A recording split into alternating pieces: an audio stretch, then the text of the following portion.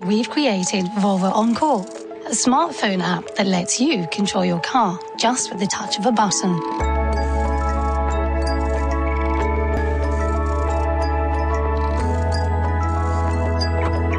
We would like to ask you for help to identify new situations where Volvo On Call could make your life easier.